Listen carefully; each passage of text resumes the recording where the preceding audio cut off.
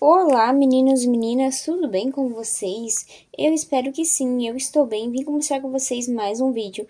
Esse vídeo aqui, meninas, estarei compartilhando com vocês a produção de um tapetão de sala que estarei fazendo para estar repondo o meu estoque. Então, espero que vocês gostem. Fique comigo até o final do vídeo para estar vendo o modelo desse tapete, né? Esse modelo eu fiz uma vez só e vendi e agora eu vou estar repondo. Esse modelo é mais fácil de fazer aumentos, né? Então, é mais fácil da peça ficar maior. Então, eu estarei utilizando essa cor aqui, lembrando que os materiais que utiliza são aí da fábrica crochética. Você, artesã, que gostaria de estar adquirindo seu material direto de fábrica, podem ter contato com eles, o contato deles aqui embaixo na descrição do vídeo, o WhatsApp deles. E no primeiro comentário eu vou deixar o link fixado da oferta do mês, que vocês também podem estar adquirindo, tá? Então, cinco ofertas maravilhosas e eu fiz um vídeo expliquei tudo pra vocês. Então, eu estarei utilizando essa cor aqui, ó, que eu não tenho muita frequência de utilizar tons de verde, né? Mas eu quero estar trazendo combinações de cores para vocês diferentes, modelos diferentes, né? Então, fique atento aqui no canal para não perder nenhum detalhe. Já se inscreve, aperte o sininho todos para não perder nenhuma novidade. Então, essa peça eu tô repondo estoque. Eu vou fazer de cor única, eu tenho esse cone mais um fechado, então, se precisar abrir o outro, acredito que sim, que eu vou estar tá abrindo o outro, que é mesmo lote, mesma quantidade, né, de, uh, no cone, então, eu vou estar tá abrindo o outro cone com certeza, porque a peça vai ficar maior aí do que normalmente eu faço. Então, ó, um, vou estar utilizando esse aqui, que é o verde esmeralda, ordem 6, ele tem 1 kg aqui no cone, né, o outro também tem 1 kg, mesmo lote, tudo igual, então estarei utilizando essa cor aqui. Vamos ver como que vai ficar, né, esse aqui é a ordem 6, estarei utilizando agulha 3,5, tá bom?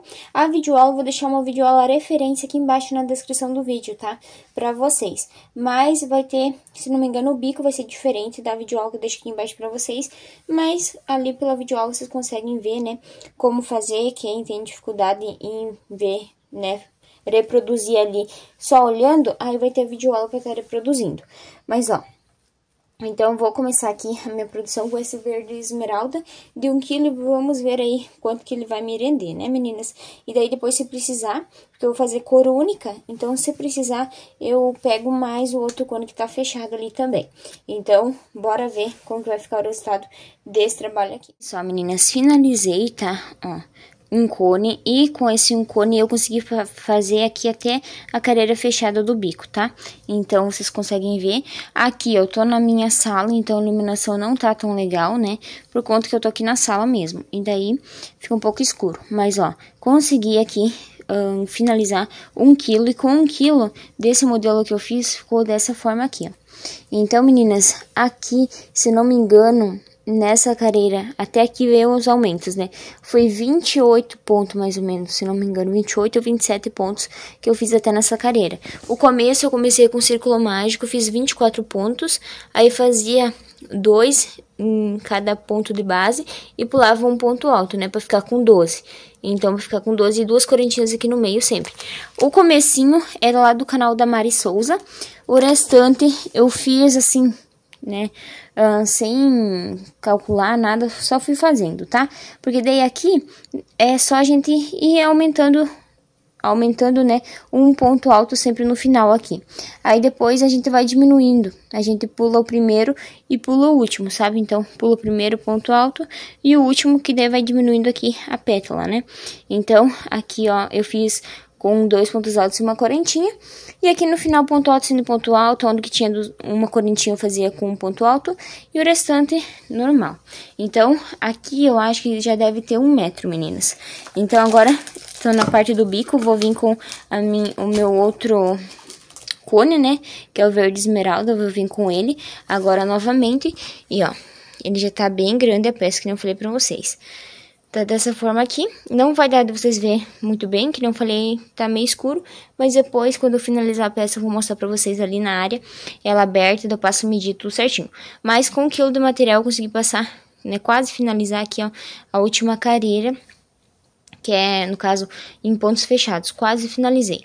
Agora, bora lá dar continuidade, né, no bico dessa produção aqui. Voltei aqui, ó, com a minha peça. Vocês podem ver que ela está aqui já finalizada, tá? Já coloquei a etiqueta, já arrematei tudo certinho.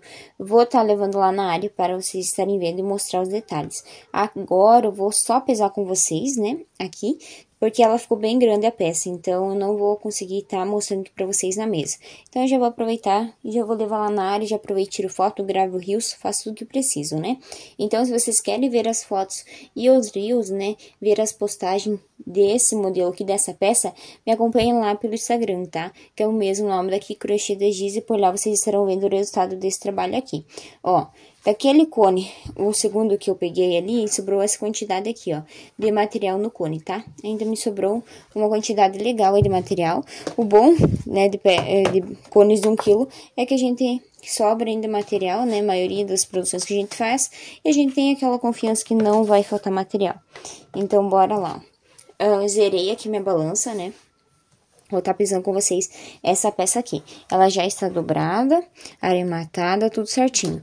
E essa peça aqui ficou pesando 1 kg 211 gramas, tá? Então, isso também vai variar mesmo que você faça da mesma quantidade de pontos, mesma medida, tudo certinho, vai variar muito de cada artesão, né? E também do material, da ordem aí do material, se é ordem 6, ordem 8, e também se é mais grosso ou mais fino, vai variar bastante. Então, aqui vocês podem ver, né, que eu finalizei a peça. Vou passar para vocês valor, tá? De barbante que eu utilizei nesse trabalho em questão de valores. Então, vocês viram o peso que ficou.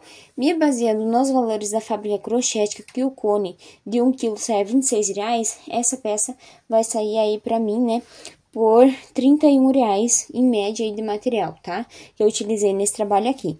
Então, de material foi essa quantidade. Lembrando que tem as ofertas do mês, que sai bem mais em conta, que vocês conseguem estar adquirindo por um valor bem mais acessível, né? Então, Agora eu vou estar tá levando essa peça lá na área para mostrar para vocês ela aberta e vocês estarem vendo mais detalhes dela. Então, bora lá. Meninas, ó, vocês vão estar tá ouvindo, acredito eu, que alguns barulhos externos, né? Porque eu tô aqui na área, então vocês já imaginam que sim, né? Uh, como eu moro na roça, tem bastante barulho de trator, coisa assim. Então, vocês têm que ignorar, tá? Ó, aqui a etiqueta que eu escolhi para estar aplicando nessa peça foi essa etiqueta aqui, ó. Da Já Etiquetas, tá? É couro sintético de ótima qualidade. Então, vocês podem entrar em contato com eles para estar adquirindo o produto de vocês. Eles têm aí cartãozinho de agradecimento, fita personalizada, etiqueta, tudo para personalizar o trabalho de vocês. Essa etiqueta aqui, ó, ela tem esse modelo, parece uma florzinha. Se vocês não têm a logo também, eles auxiliam vocês a estar fazendo. Então, entrar em contato com eles pelo WhatsApp, falem que viu no meu canal que estarão me ajudando. Mas o contato deles está aqui embaixo na descrição do vídeo para vocês também poderem estar adquirindo. Tem o WhatsApp deles, o Facebook também para vocês estarem vendo os outros, né, os outros trabalhos que eles têm.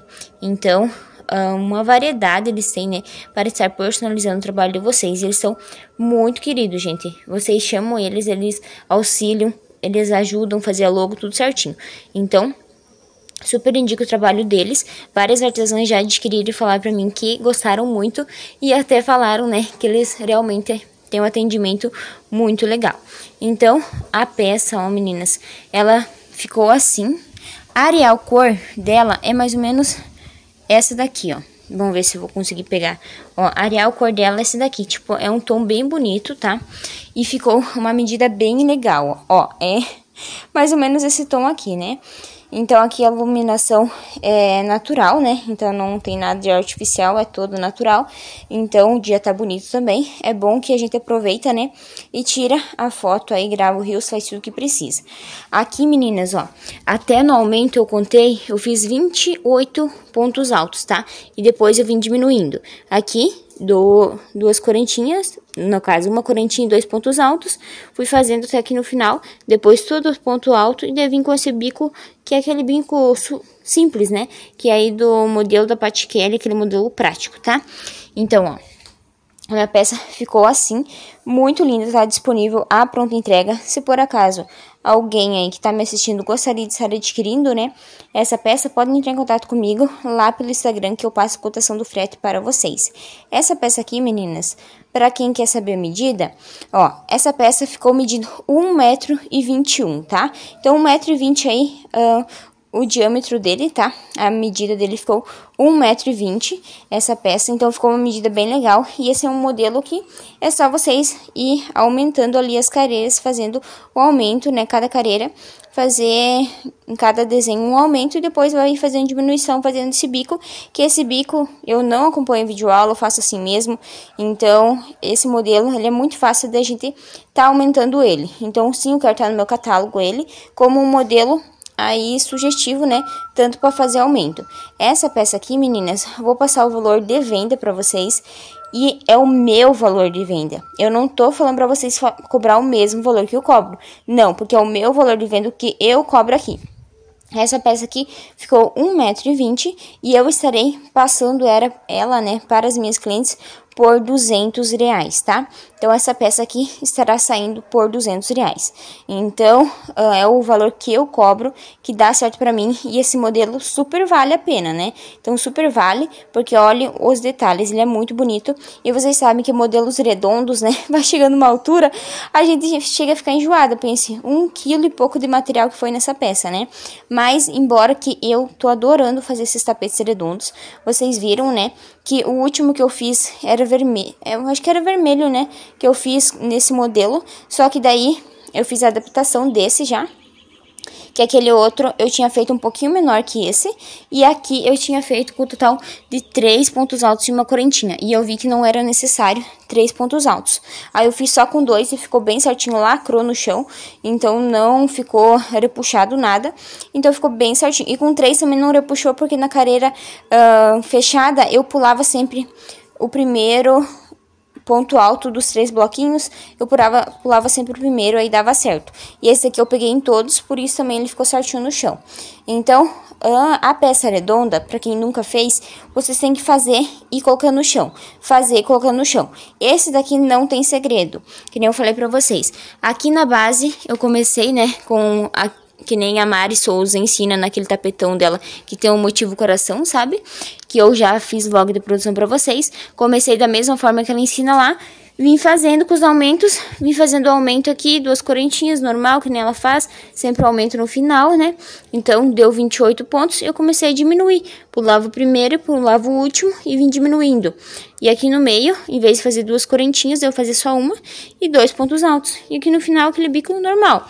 Então, vou sim deixar a videoaula para vocês aí da base, tá? Mas acredito que o começo é diferente e o final também, o bico é diferente. Mas é uma referência, talvez vocês consigam acompanhar e fazer a peça de vocês. Mas meninas, eu estou apaixonada. Doida já que venda rápido essa, essa peça aqui para estar fazendo de outras cores, porque eu quero ter praticamente uma coleção aí, né, de variedades para as minhas clientes estarem vendo. Porque sim, meninas, eu sempre falo para vocês, quem é visto é lembrado, né? Então a gente tem que postar, a gente tem que divulgar nosso trabalho tanto nas redes sociais quanto aí no Instagram, no WhatsApp, né? Nos lugares que a gente tem as nossas clientes, a gente tem que fazer divulgação para que dessa forma nossos clientes vejam os produtos que a gente tem disponível ou os produtos que a gente faz, né? Então, meninas, ficou esse o resultado dessa peça aqui. Se por acaso, como eu falei, alguém tiver interesse, pode me chamar lá pelo Instagram, que lá eu passo a cotação do frete para vocês. E também lá no Instagram vocês vão conseguir ver várias combinações de cores, vários modelos diferentes. Eu compartilho com vocês lá no Instagram, né? E nos outros canais também vocês conseguem ver e estar mais próxima de mim. E eu espero que vocês também me acompanhem pelos outros canais. Então, essa peça aqui ficou dessa forma, esse valor, 200 reais estarei cobrando ela nessa medida, tá? Então, nessa medida, ele estará sendo por 200 reais. Então, meninas, espero que vocês tenham gostado desse vídeo aqui. Deixe aquele comentário pra mim falando o que, que vocês acharam desse resultado, se vocês gostaram. Eu espero que sim, tá? Que vocês tenham gostado. Compartilhe também com uma amiga para estar inspirando ela, ou ele, né? E estar produzindo aí tapetes redondos, se desafiando, trazendo novidades para os clientes de vocês. E eu espero vocês aí no próximo vídeo. Então aqui no final do vídeo também vou deixar uma playlist só de tapetes redondos para estar inspirando vocês. E eu espero vocês aí no próximo vídeo. Um grande beijo e tchau!